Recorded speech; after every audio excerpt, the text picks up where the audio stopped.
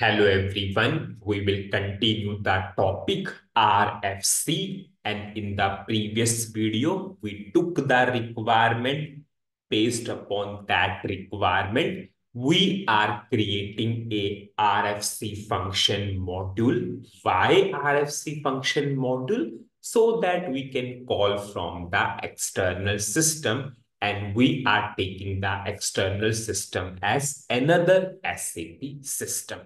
So as of now, this is normal function module only. We are going for regular function module only. Now, whenever we will finish with the logic part, then I will convert it to this remote enabled module. So what we will do now, I will write the logic into the source code tab.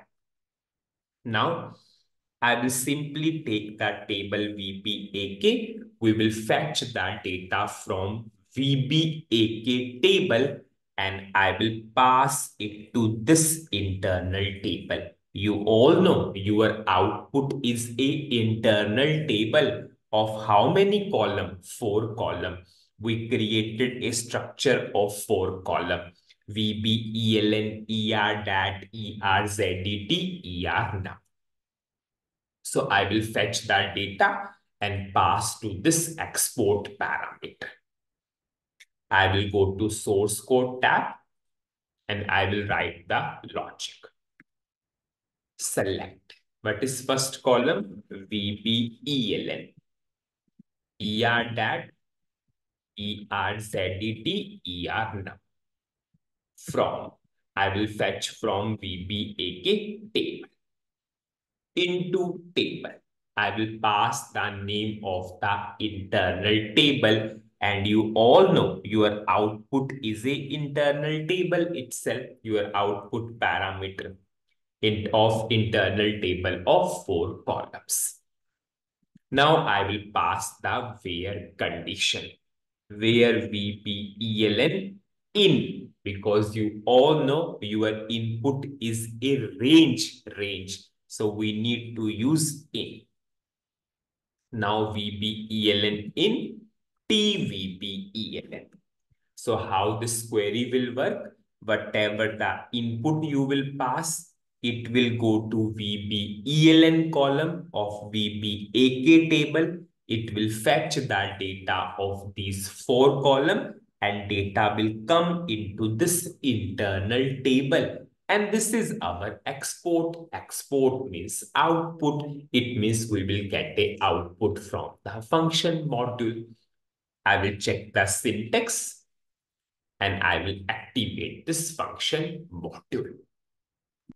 Now, firstly, we will check the output of this function module. As of now, this is a normal function module it can only only be executed in this system A4H only. Its scope is in this A4H only. I will go for running of this function module. And you can see our input is a range table, range internal table. I will go for contents. Now, now you all know sign has always two values include or exclude. So I put I. Suppose I will go for option. Option is for relational operator. So I will go for between.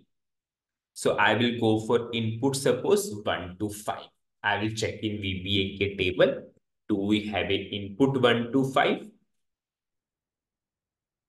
You need to check in your table. Please do not give the data which I am giving. Your system might have different data.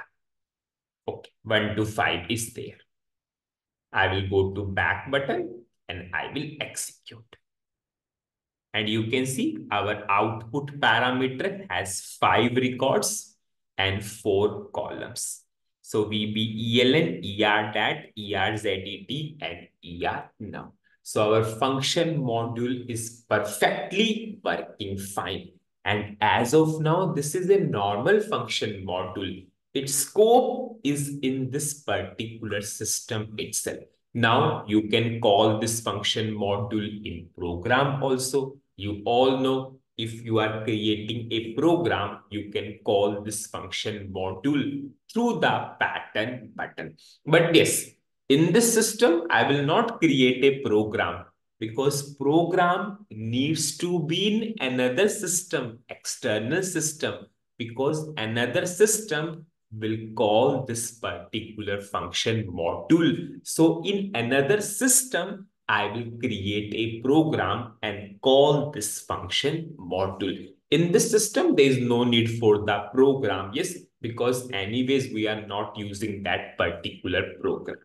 Now, as of now, this is a normal function module. So other system cannot call this particular function module. So it means we need to change the processing type to what RFC, a remote enabled module. We need to change the processing type.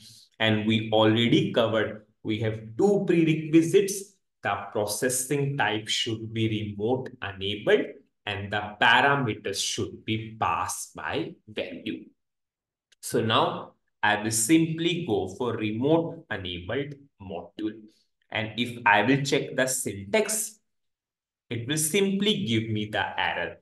Your parameters should be passed by value. If I will go for OK, suppose if I will activate, I am not going for pass by value as of now. So it will simply, simply give me the error that only parameters with pass by value are allowed.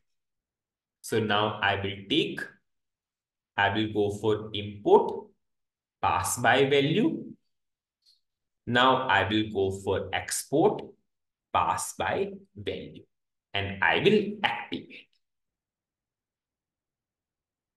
So I fulfilled both the prerequisites. Yes, now RFC, the processing type is remote enabled module and the parameters are passed by value. Now it can be invoked from the another system or we can say external system. External system can be SAP, it can be non-SAP. In our current requirement, I will take it as SAP system. So what is the summary of this particular video? In this video, we did two things. I have written the logic in the source code tab and we have checked the output of the function module, it is perfectly fine. I have not created the program because program needs to be in external system. If you want to create here, it's totally your wish. Anyways, you are not using that. If you are using this function module in the same system also, then you can create a program also. Now, after that, we need to convert this function module to RFC function module. Otherwise, it will not be called from the external system. So I choose the radio button remote enabled module. When you choose, you got the error that parameters should be passed by value. So we simply change the type of the parameters to pass by value. In the next video, I will go to another system of SAP and we will see how we can call this RFC function. So that's it in this video. Thank you.